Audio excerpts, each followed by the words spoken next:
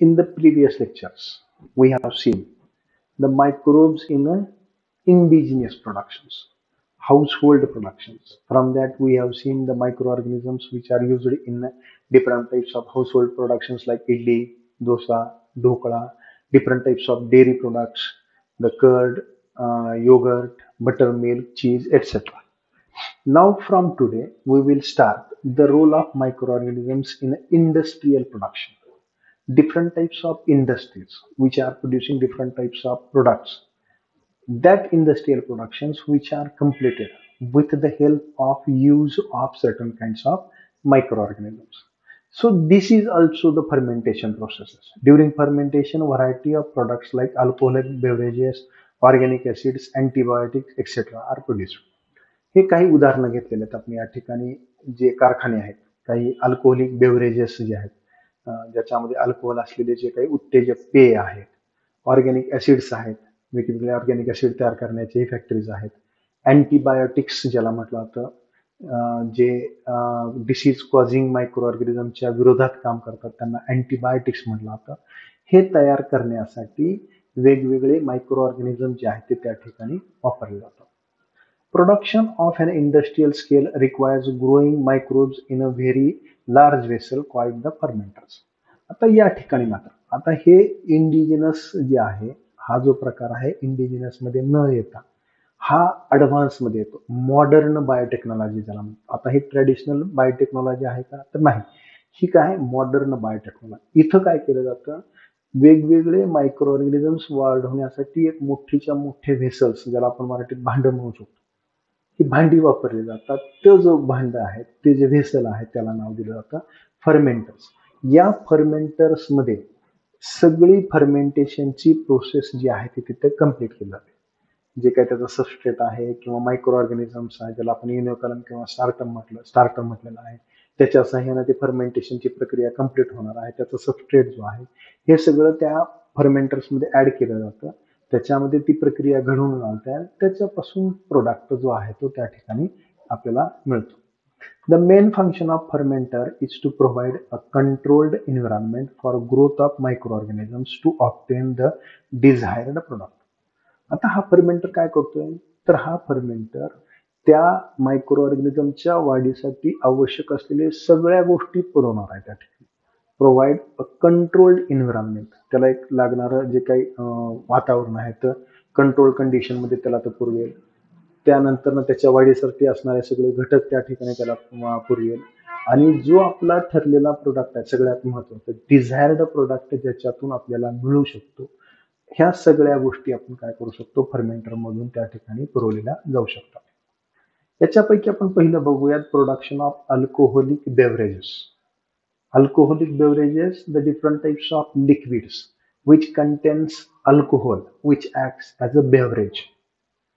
असे liquid product की ज्याच्यामध्ये अल्कोहोल कंटेंट आहे थोड्याफार प्रमाणात किंवा जास्त प्रमाणात depending upon them the different types of alcoholic beverages are there ज्याच्यामध्ये अल्कोहोल असलेले जे काही उत्तेजक पेय आहेत त्याला म्हटलं तर alcoholic beverages Beverage is a liquid used or prepared for drinking. Example tea, coffee, beer, wine, which acts as a stimulant. आता बेवरेज कशाला म्हटलंय? उत्तेजक पदार्थ स्टिम्युलंट आहे काय करतं? उत्तेजित करतं. मग त्याच्यासाठी काय करतं? ड्रिंकिंग पर्पजसाठी हे बेवरेज आहे. मग आपण जे चहा पितो कॉफी पितो ही सुद्धा एक प्रकारची उत्तेजक पेयच आहे. बरोबर आहे? आपण चहा सकाळी उठल्या उठल्या पितो संध्याकाळी पितो. की ज्या वेळेस थोडासा कंटाळा म्हणू शकतो थोडासा थकवा आपल्याला आल्यासारखं झाला असतं ते पिले की अंगात तरतरी आल्यासारखं. बरोबर आहे. म्हणून त्याला काय म्हटलंय उत्तेजक पेय म्हटलंय बरोबर आहे. मग अशाच प्रकारे काही अल्कोहोलिक बेव्हरेजेस आहेत की ज्याला बियर म्हणू शकतो आपण वाईन म्हणू शकतो हे वेगवेगळे प्रोडक्ट ज्याच्यामध्ये अल्कोहोल आहे जे स्टिम्युलंट म्हणून वापरलं जातं ते जे आहे त्याला बेवरेज म्हटलं. Alcoholic beverages are the products of alcoholic fermentation of specific substrate. आता अल्कोहोलिक बेवरेजेस आता वरती आपण टी कॉफी जे आहे ते अल्कोहोलिक बेवरेजेस आहेत का? अल्कोहोलिक बेवरेजेस नाहीत ते. हा? नाहीतर त्याच्यात परत शंका येऊन बंद करून टाकायचं आपण चहा they are not alcoholic beverages त्याच्यामध्ये कॅफेन आणि टॅनिन आहे समजा. ते आपण दुसरा भाग आहे. बियर वाईन हे जे काही प्रकार आहेत हे अल्कोहोलिक बेवरेजेस हे तयार करताना काय केलं? त्याच्यावरती अल्कोहोल फर्मेंटेशनची प्रक्रिया करून ते उत्तेजक पेय जे आहे ते तयार केलेलं आहे. Use of microbes in making alcoholic beverages is known since Vedic period five thousand to seven thousand B C आता हा जो प्रकार आहे अल्कोहोलिक बेवरेज तयार करण्याचा जो प्रकार आहे फार पूर्वीपासून आहे. पुरातन काळ वेदिक काळ ज्याला आपण म्हणतो पाच हजार सात हजार बी सी पासून त्या त्या काळामध्ये. त्या ठिकाणात तो वापरला जाऊ शकतो. अल्कोहोलिक बेवरेजेस तयार करणे. जरी कारखाने ते तयार झाले असले तरीही अल्कोहोलिक बेवरेज ट्रॅडिशनली फार वर्षापासून त्या ठिकाणी तयार केलेले दिसून येतात. Microbes especially yeast have been used from ancient time for the production of beverages like wine beer whisky brandy rum etcetera दुर्दैवाची गोष्ट. ह्या गोष्टी आम्हाला सांगायला Microbes is is especially by by different of of yeast which are use for the production of alcoholic beverages. Beverages दुर्दैवाची गोष्ट कुठली सांगितली? तर ही नावं जी आहेत ते मला तुम्हाला सांगायला लागतील. अल्कोहोलिक बेवरेजेस कोणकोणते आहेत? वाईन आहे बियर आहे विस्की आहे ब्रँडी आहे रम आहे. हे काही प्रकारचे अल्कोहोलिक बेवरेजेस आहेत. की ज्याच्यामध्ये अल्कोहोल कंटेंट जास्त आहे आणि काही लोकांना असं वाटतं की ते एक प्रकारचं उत्तेजक किंवा मादक पेय आहे. त्याच्या पिल्यानंतर काही एक्साइटमेंट जे आहे त्या लोकांना मिळत असेल. For this purpose the yeast Saccharomyces cerevisiae variety ellipsoideus म्हणजे याच्यासाठी सॅक्रोमायसिस सिरेविसिस नावाचा जो ऑर्गॅनिझम आहे ईस्ट फंगस आहे तो वापरला जातो आणि सॅक्रोमायसिस सिरेविसिसची व्हरायटी इलिप्सॉइडस किंवा एलिप्सॉइडिस ही जी आहे ती त्या ठिकाणी वापरली जाते. Commonly called as a brewer's yeast is used for fermenting malted cereals and fruit juice to produce the ethanol हे फंगस जे आहे ईस्ट जो आहे सॅक्रोमायसिस सेरिविसी इलिप्सॉइडस जो आहे हा माल्टेड सिरियल्स जे आहेत कडधान्य सिरियल्स जे आहेत तुमचे बाजरी असेल ज्वारी असेल गहू असेल मका असेल याच्यापासून सुद्धा अल्कोहोल तयार केलं जातं. इथेनॉल जो आहे ते तयार केला जातो. किंवा फळांचा रस जे आहेत जेवढी फळं आहेत सगळ्या फळांच्या रसापासून अल्कोहोलिक बेवरेजेस जे आहेत ते आजकाल तयार केलेले दिसून येतात. Among the beverages wine beer are prepared without distillation whereas whisky brandy and rum are distilled beverage आता हा काय प्रकार आहे? पहिले जे दोन प्रकार आहेत तो वाईन आणि बियर ह्याला डिस्टिलेशनची प्रक्रिया न करता तयार केलं जातं. विदाऊट डिस्टिलेशन आणि बाकीचे जे तीन प्रकार आहेत विस्की ब्रँडी आणि रम याला डिस्टिलेशन केलं जातं. आता कम्पॅरेटिव्हली हे जे दोन प्रकार आहेत वाईन आणि बिअरमध्ये अल्कोहोल पर्सेंटेज कमी असतं. बाकीचे जे तीन आहेत त्याच्यामध्ये अल्कोहोल पर्सेंटेशन जास्त असतं. आता हे डिस्टिलेशन आणि विदाऊट डिस्टिलेशन म्हणजे काय? आता एक साधी सोपी प्रक्रिया डिस्टिलेशन डिस्टिल्ड वॉटर आपण म्हणतो. काय केलं जातं त्याला? पाणी उकळलं जातं. बरोबर आहे? पाणी उकळल्यानंतर ना त्याची जी वाफ तयार होते ती वाफ ज्याला आपण स्टीम म्हणतो ती वाफ कलेक्ट केली जाते. मग ती वाफ कलेक्ट केल्यानंतर ना परत ते कूल केल्यानंतर ना त्या वाफेचं रूपांतर कशामध्ये होणार आहे? परत लिक्विडमध्ये होणार आहे. ही जी प्रक्रिया त्याला म्हटलं तर डिस्टिलेशन मग हे खालचे जे तीन प्रोडक्ट आहेत विस्की ब्रँडी आणि रम हे जे आहेत हे तयार करताना इतक्या प्रमाणात त्याला हीट दिली जाते. फर्मेंटेशन केल्यानंतर ना उकळलं जातं त्याची वाफ तयार केली जाते. आणि ती वाफ परत कंडेन्स केली जाते गोळा केली जाते. मग त्या वाफेचं रूपांतर परत लिक्विडमध्ये केलं जातं त्याला म्हटलं तर डिस्टिलेशन आणि वरचे जे दोन प्रकार आहेत विस्की सॉरी वाईन आणि बियर जे आहेत त्याला डिस्टिलेशनची आवश्यकता लागते.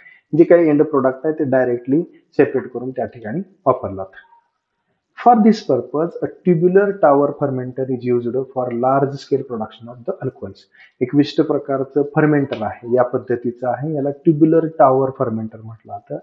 ही याच्यामध्ये जे काही कंटेंट आहे ते कंटेंट टाकलं जातं. ह्याच्यामध्ये ईस्ट टाकला जातो. त्या ईस्टची मुवमेंट या ठिकाणी केली जाते. या फर्मेंटरमध्ये ते पूर्णपणे डायजेस्ट केलं जातं.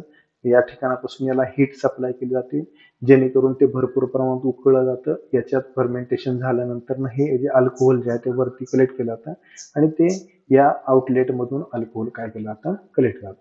अशा प्रकारच्या फर्मेंटरमधून जो अल्कोहोलिक प्रोडक्शन जे आहे ते तयार केले जातात. याच्यासाठी वेगवेगळे फर्मेंटर्स अवेलेबल आहेत.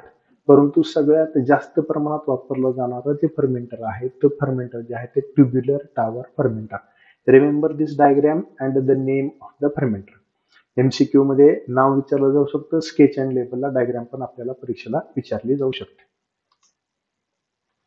Several traditional drinks and foods are also made through the fermentation by the yeast. काही आपले ट्रॅडिशनल घरगुती जे आहेत ते सुद्धा फर्मेंटेशनच्या सहाय्याने आपल्याकडे भरपूर प्रमाणात वापरल्या जातात today a traditional drink of the coastal region in South India is made by fermenting a sugar sap extracted from the palm plants and the coconut palm आता प्रांतवाईज वेगवेगळे प्रोडक्ट जे आहेत ते त्या ठिकाणी अवेलेबल आहेत.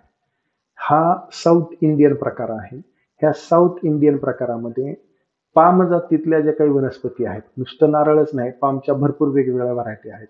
हे याच्यामधला शुगर सॅप जो आहे नारळातलं आतलं पाणी असेल किंवा कोबरा असेल ह्याच्यामध्ये काही प्रमाणात साखरेचं प्रमाण असतं.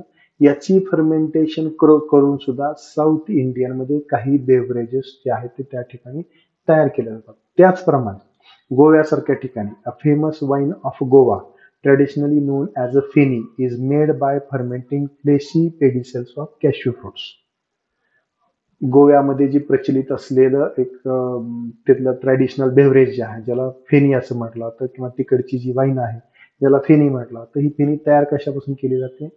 तर पेडीसेल जो आहे कॅश्यू फ्रुट्सचा जो पेडीसेल आहे कशाला म्हटलं आता pedicel the stalk of the flower हा पेडीसेल जो आहे कॅश्यूमध्ये थोडासा फुगीर होतो. काजूचं जर फळ तुम्ही बघितलं तर खालच्या बाजूला पेडिसेल असून वरती एवढं लहानच फळ फळ तिथं वरती आलं असतं त्याला आपण काजू तर काजू बाजूला करून राहिलेला खालचा जो पेडिसेल आहे ह्या पेडिसेलचं फर्मेंटेशन करून तिकडची वाईन जी आहे ती तयार केली जाते त्याला आपण फिनी असं म्हटलं म्हणजे अशा पद्धतीने वेगवेगळ्या एरियामध्ये ट्रॅडिशनली सुद्धा अल्कोहोलिक बेवरेजेस जे आहे ते त्या ठिकाणी तयार केलेले आपल्याला दिसून येतात.